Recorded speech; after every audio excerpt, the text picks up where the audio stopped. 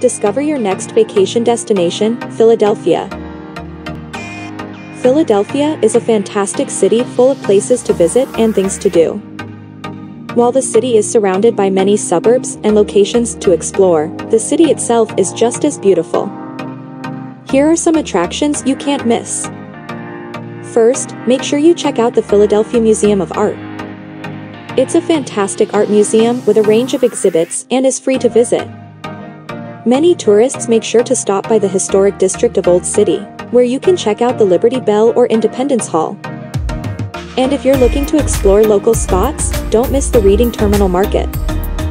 It's an indoor market that sells a variety of foods and goods.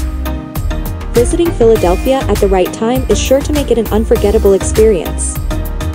The best way to get the most out of your trip is to learn about the weather. Although it can be cold, sunny, or snowy during the spring, summer, fall, and winter, each season has its own attractions, such as festivals and events that are best enjoyed at specific times.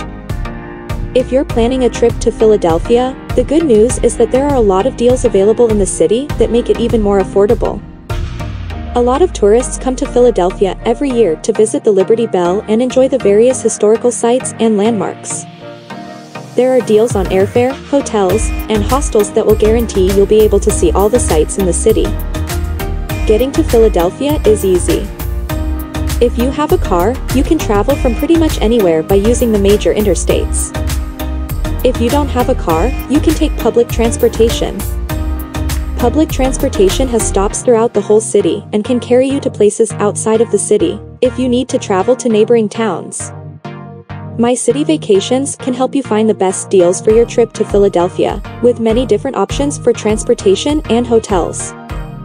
Visit MySittiVacations.com for your next trip.